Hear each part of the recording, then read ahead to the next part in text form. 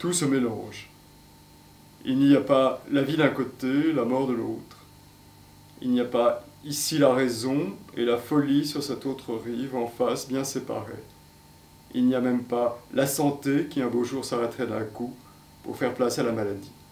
Très avant dans le territoire du chagrin, le bonheur a encore ses enclaves, ses bons moments, ses rémissions. La folie et la mort sont des contrebandières. Elles ne cessent de franchir les frontières. Elles vont et viennent, ce sont des passe-murailles, des latudes, des Robert Houdin. Elles empruntent les miroirs, elles connaissent des sentiers dans la montagne, elles ont leurs barques au bord des fleuves, parmi les roseaux gris dans la lumière. On les voit cheminer dans les trains mal éclairés du soir, couverts de graffitis et d'arbitres en bleu. Elles voyagent sur des rafiots de nuit. Elles débarquent dans des criques. On le reconnaît à le soudain fléchissement de la phrase, à des mots qui se dérobent, des creux sournois dans la présence. Très tard, il y a encore des jours heureux. C'est déjà de l'autre côté. Il y a de jolies promenades, mais c'est au pays des ombres. Le chien Orla courait encore après les balles. Les autres chiens, à de certains moments, oubliaient leur méfiance à son égard et l'acceptaient pour un des leurs, comme aux temps anciens. Il dormait quelquefois contre son frère Apax, sa tête noire posée contre l'épaule blonde. Il n'avait pas perdu sa beauté. Mais toujours les crises revenaient.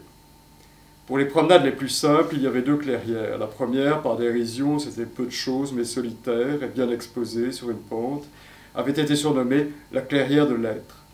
L'autre, par symétrie et dérision redoublée, était la clairière de l'étau.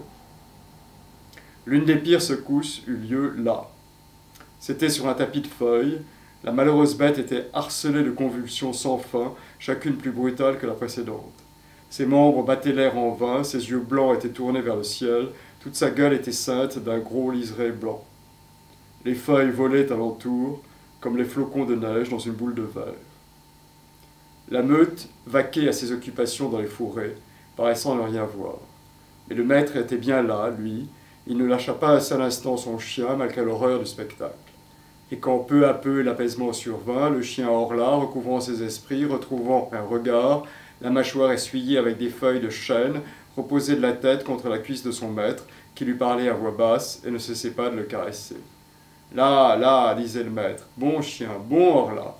Et voilà, ça va mieux, c'est fini, c'est passé. Tranquille, monsieur chien, tranquille, repose-toi, regarde. Tu connais cet endroit, n'est-ce pas? Tu aimes bien ce chemin. Souviens-toi comme tu as souvent été heureux entre ces arbres. Ils restèrent ainsi un long moment dans le silence de la clairière. Mais tous les souvenirs ne sont pas aussi bons, on veut dire aussi rassurants pour le chagrin, aussi à même de donner à penser que l'on a fait tout ce qu'on a pu et que le mort n'a pas pu croire qu'il n'avait pas été aimé et bien aimé. La meute, faut-il le répéter, adorait la baignade, les lacs, les étangs, les longues nages à la poursuite d'un bâton lancé. Le grand plaisir était de descendre jusqu'à la rivière. À peine sur ses rives, et quel que soit le temps, la saison, les chiens s'y jetaient comme un seul homme. La rivière faisait peur au maître, cependant, pour le hors-là. Que se passerait-il si une crise survenait au milieu de la baignade et du courant? Aussi, essayait-il de dissuader le chien de suivre le mouvement général et de se précipiter dans l'eau.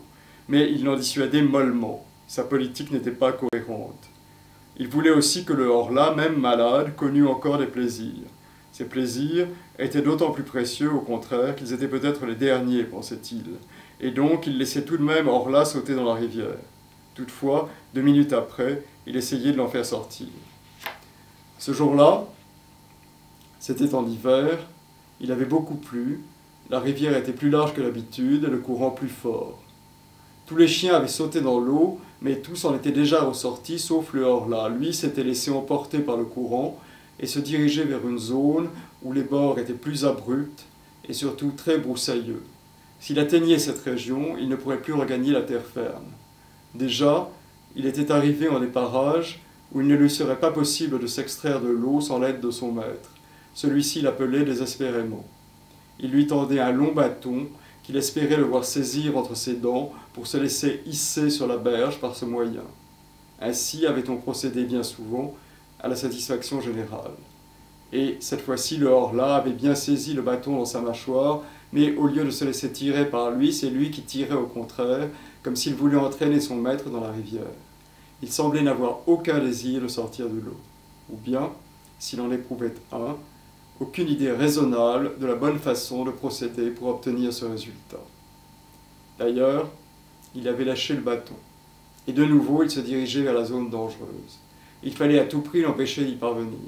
Sa tête surnageait seule, et le maître, qui courait sur la rive, ne trouva rien d'autre à faire pour empêcher son chien de nager de la sorte devant du danger et pour le forcer à se diriger plutôt vers les ultimes endroits où il y avait une chance de le sortir de l'eau et de le tirer d'affaire que de lui administrer avec le bâton les coups sur la tête, sur sa pauvre tête déjà tellement ébranlée par la tumeur ou le haut mal.